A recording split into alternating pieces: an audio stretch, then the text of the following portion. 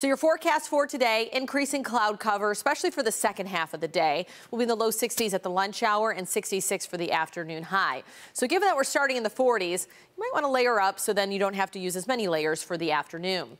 Tonight, 49. Showers roll in likely after midnight and winds start to pick up. We hold on to the breezy conditions tomorrow with gusts up to about 25 miles per hour and a possible non-severe storm, but 65. So let's take you through the next three days after that. Long weekend forecast here, starting with Friday.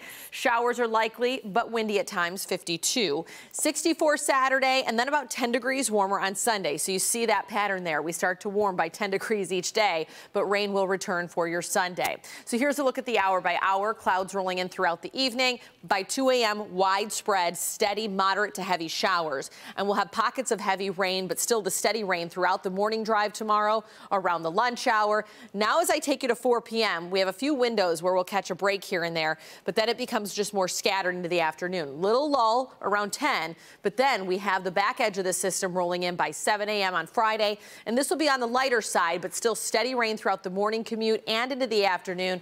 This picking up a few wet snowflakes to the north at 5 p.m. I don't buy into that transition as much just because of what our temperature profile is tomorrow where we don't dip below freezing. Now looking ahead to Sunday, some widespread rain starts to build in, but looking like it'll still be on the lighter side. That window will be throughout the morning, but most of that out of the way by 2 o'clock in the afternoon.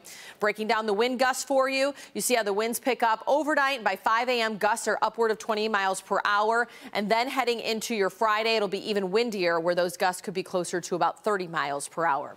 Full forecast shows that we will stay in the low 70s come next Monday, but then 65 degrees with another chance for rain on Tuesday. So rounds of some April showers and the winds will be picking up to end the week.